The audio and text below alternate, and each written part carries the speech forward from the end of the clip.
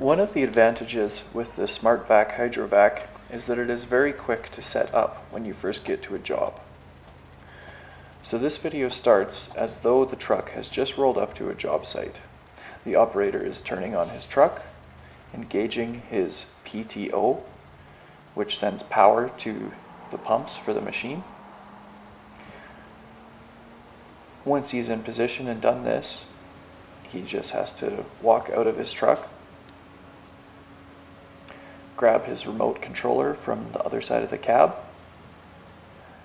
and do some quick setup, which you will see in just a second here.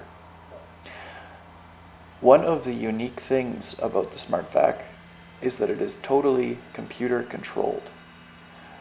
This means that the machine has an onboard computer that does most of the job that an operator would regularly be required to do. This means that the SmartVac can be operated with just one operator. This makes it unique in a field of equipment where almost every other competitor requires at least two operators to do the same job.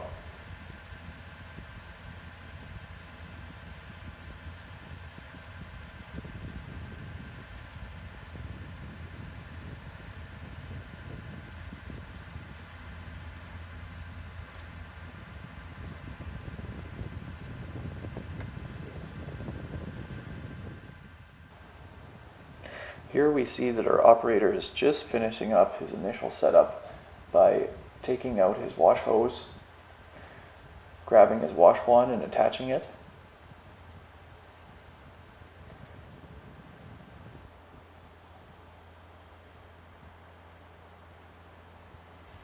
And now he's going to set up his boom. The operator does this by using the wireless remote that he has in his hand right now to set the boom into position so he can clamp on his dig tube. All of the vital functions on the SmartVac are controlled by this wireless remote.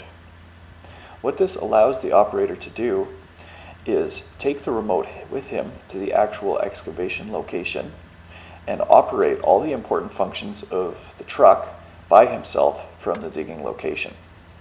While he is using this wireless remote controller, the truck itself is monitoring all of the onboard instrumentation to make sure that nothing is going wrong and that all of the pressures and temperatures are maintained at their optimal state. An important innovation that SmartVac has incorporated that allows us to do this is an emergency stop button on the wireless remote controller. This means that if anything ever goes wrong, the operator is able to immediately shut down the truck from the dig location. With his setup now finished, in just over three minutes, the operator will move his boom into position and start digging. Let's jump ahead until when this starts. Here you can see the operator powering everything up and starting digging. As you can see, he's able to power up the machine using the wireless remote in his pocket. You can see by looking at the computer screen that both the water pump and the blower are in their powered up, turned on states.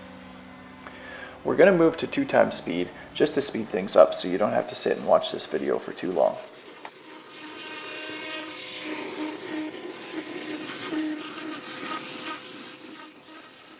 How this machine digs is it uses high-powered water moving through a specialized digging wand to blast apart the soil the resulting slurry is then vacuumed up by the very powerful vacuum on board the truck through the dig tube that you're looking at right now. As you can see, this is a pretty fast way to dig, as the operator, just over a minute into the dig, has already sunk most of the 5 foot dig tube into the excavation.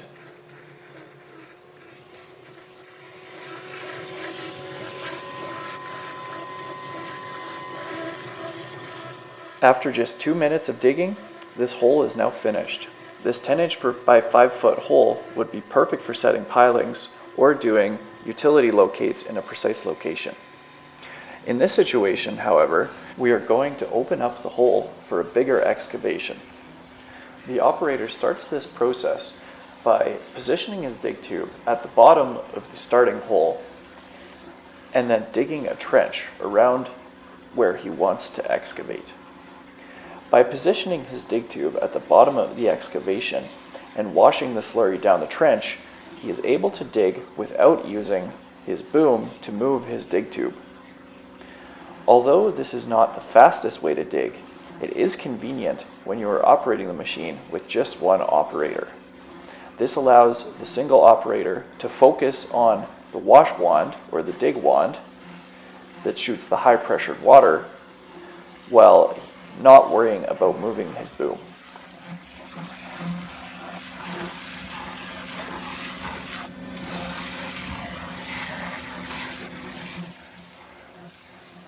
We will watch the operator dig here for another minute or so before jumping ahead to see how big of a hole he is able to dig in a short period of time.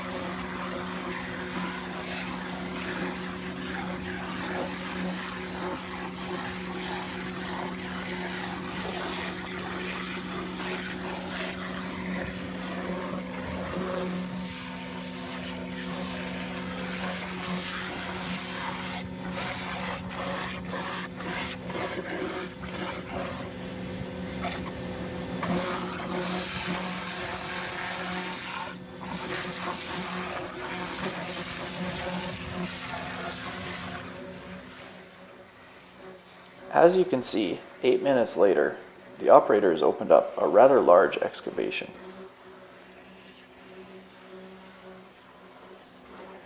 We have skipped ahead to this location so that you can see exactly the technique the operator is using to knock off large chunks of soil. He starts by digging a trench around this chunk of soil and then cutting it into more manageable pieces and knocking those pieces into the excavation for them to be sucked up by the powerful vacuum system.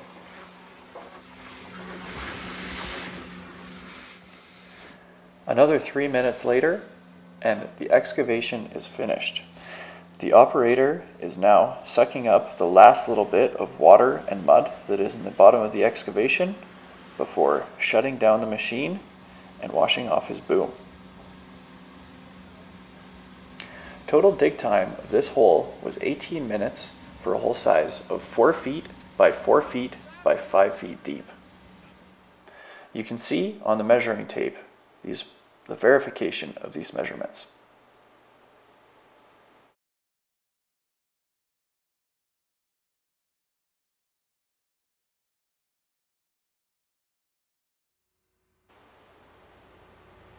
With the digging now finished, the operator is moving on to cleaning his dig tube so he can stow it and move on to the dump site. As you can see, the wash wand works by spinning very quickly with a powerful jet of water. This is how it digs. By spinning quickly like this, if it ever contacts an underground utility, it is only contact with it for a very short amount of time, thereby minimizing the risk of damage. Now we move on to dumping. The operator, in this case, has backed up the excavation that he dug earlier. Normally, what he would do is move to a remote location to dump the load.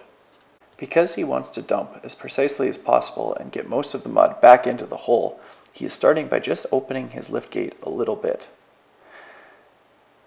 If you were dumping at a location where you did not care if the mud ended up in a precise location, the operator would just open the tailgate and let the mud fly out. In this situation, he's emptying a little bit more slowly. With, with most of the mud now extracted from the tank, he opens the liftgate fully and turns on the onboard water jets to blast out the remainder of the mud.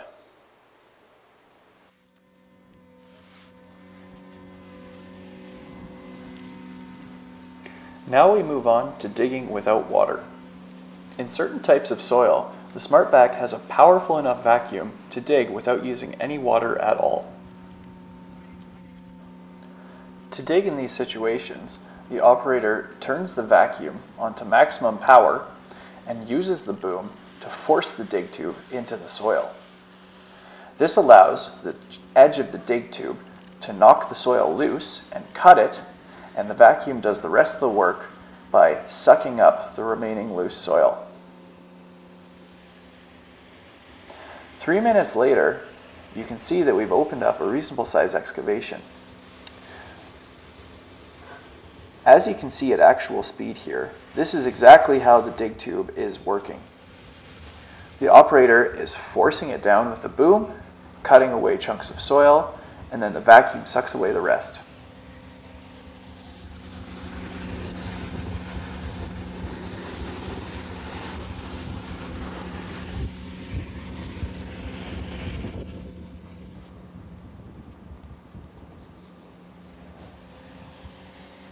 Four minutes later, and the operator is finished digging.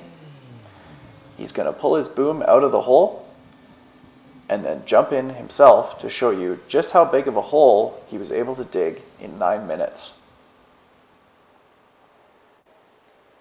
As you can see, in nine minutes, using no water at all, the operator was able to dig a hole large enough to fit most of his body with a large perimeter around it.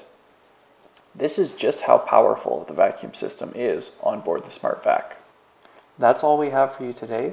Thank you for watching, and if you would like more information, please contact a member of the SmartVac team or visit us at our website at www.smartvac.ca.